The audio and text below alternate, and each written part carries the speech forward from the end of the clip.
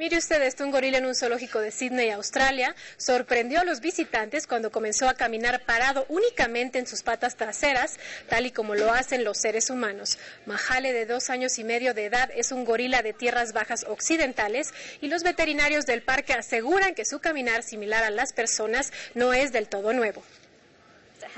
Estamos sorprendidos por la gran frecuencia con la que Mahal lo hace. Parece que lo hace todo el tiempo. Los veterinarios no saben por qué el gorila camina así, pero creen que es por simple curiosidad.